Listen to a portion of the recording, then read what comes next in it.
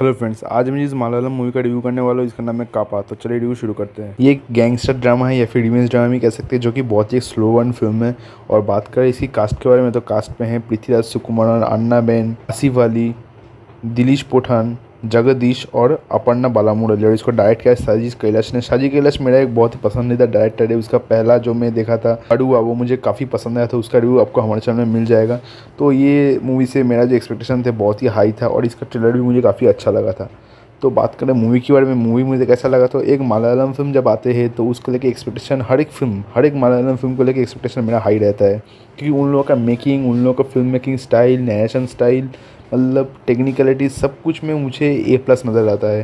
तो इसमें भी मेरा एक्सपेक्टेशन बहुत ही हाई था और मैं सच कहूँ तो मैं निराश बिल्कुल भी नहीं हुआ। इस बार भी एक्सपेक्टेशन मेरा जो था, वो खड़ा उतरा। जी हाँ। ये एक बात है कि मूवी जो है, अपना जो पेस है, वो पकड़ने में थोड़ा समय लगता है। मूवी अपना कहानी, अपना स्टोरी में आने के लिए थोड़ा समय लगता है। जैसे मैंने पहले ही बोल दिया, ये एक स्लो वन फ़िल्म है, थोड़ा बिल्डअप लेता है। पहले तीस चालीस मिनट मतलब नहीं बोलूँगा, लेकिन पहले बीस तीस मिनट थोड़ा मतलब काफ़ी ज़्यादा बिल्डअप है। उसके बाद ही शुरू होता है।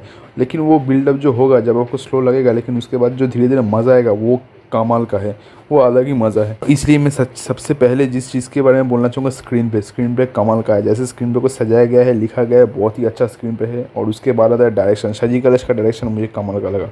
बहुत ही अच्छा डायरेक्ट किया है उन्होंने मतलब बहुत ही अच्छा।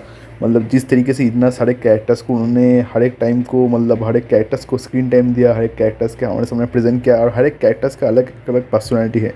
और ये जो थ्रिल जो सस्पेंस है, उसको भी छुपा के रखा, उसके अंदर एक गैंगस्टर रिवेंज ड्रामा होने के बावजूद भी आपको प्रिडिक्टेबल कुछ हद तक लग सकता है, लेकिन कुछ कुछ समय आप सोचोगे कि ये क्या ये प्रिडिक्टेबल हो सकता है, क्या यही ट्विस्ट होगा? लेकिन वही ट्विस्ट होता है, लेकिन फिर भी वो जो मतलब सस्पेंस यहाँ पे क्रिएट किया गया है, वो मुझे काफ़ी अच्छा लगा। और स्लो वन गैंगस्टर ड्रामा का एक मज़ा ही अलग होता है, यहाँ पे भी वैसे ही मज़ा मतलब धीरे धीरे जो प्लान होता है धीरे धीरे एग्जीक्यूट करना होता है। और यहाँ पे एक्शन भी है, जैसे साउथ का मास मसाला एक्शन होता है, वो भी है। ऐसा नहीं कि वो बिल्कुल हटा दिया गया है, वो भी बहुत भरपूर है। और वो भी एक मतलब एकदम सही टाइम में है। एक एक समय जहाँ पे एक्शन का ज़रूरत है, वहीं पे एक्शन है। और बीजीएम भी कमाल के साथ। और पृथ्वीराज सुकुमार एस कोट्टा मधु मतलब इस कैरेक्टर के ऊपर एक अलग से स्पिन ऑफ़ चाहिए मुझे। मतलब कमाल का। ऐसा लग रहा था कि पृथ्वीराज सुकुमारन का ही कैरेक्टर कोट्टा मधु है। मतलब कोट्टा मधु का कैरेक्टर जो है पृथ्वीराज सुकुमारन ने ऐसे घोल के खा लिया।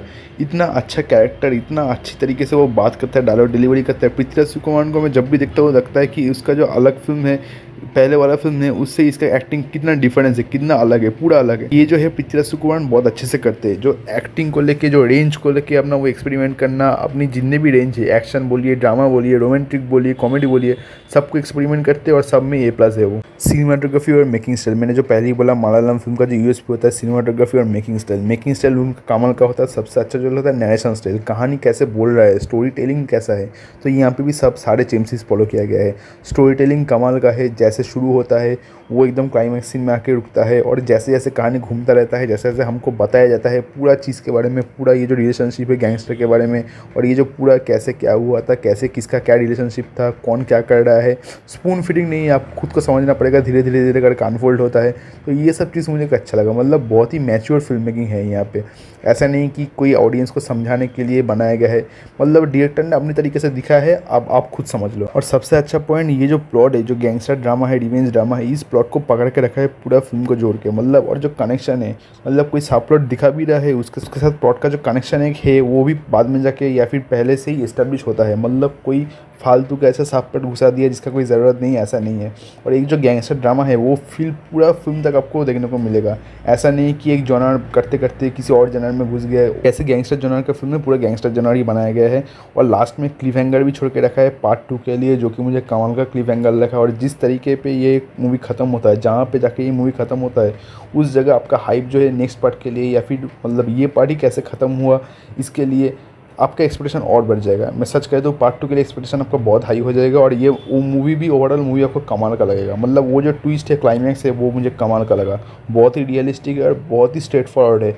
मतलब ऐसे नहीं कि शुगर कोटेड कुछ मतलब करा दिया गया फ़ैन सर्विस के लिए, ऐसा कुछ नहीं है। बहुत ही स्ट्रेट फॉरवर्ड है और बहुत ही ऐसा बोल सकते हैं कि आप बहुत सारे गैंगस्टर मूवी से इंस्पायर है। ये बात है, बहुत सारे गैंगस्टर मूवी से इंस्पायर है। इसका स्टोरी टेलिंग है गुड फेलस बोलिए गॉड फादर बोलिए, बहुत सारे गैंगस्टर मूवी से इंस्पायर है। लेकिन फिर भी यहाँ पे जो नैशन स्टाइल है, जो फ़िल्म मेकिंग स्टाइल है, जो स्टोरी टेलिंग है, वो मुझे फिर भी अच्छा लगा, बहुत ही अच्छा लगा, बहुत ही अच्छी तरीके से निभाया गया है सब कुछ।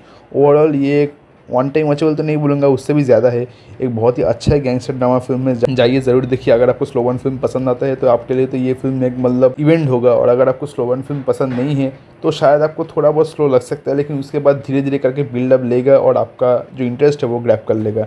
ग्रिपिंग तो मेरे लिए था फ़िल्म ऑब्वियसली ग्रिपिंग था सब कुछ। रिकॉर्डिंग मुझे बहुत अच्छा लगा। ओवरऑल मैं बोलना चाहूँगा, ये फ़िल्म मुझे काफ़ी अच्छा लगा। और अगर आपने मूवी देख चुके हैं तो कमेंट बॉक्स आकर बताइए आपको मूवी कैसा लगा। और वीडियो को लाइक करना कमेंट करना शेयर करना चाहे सब्सक्राइब कर देना। और तब तक के लिए गुड बाई टेक कर जल्दी मिलते हैं के लिए। Good by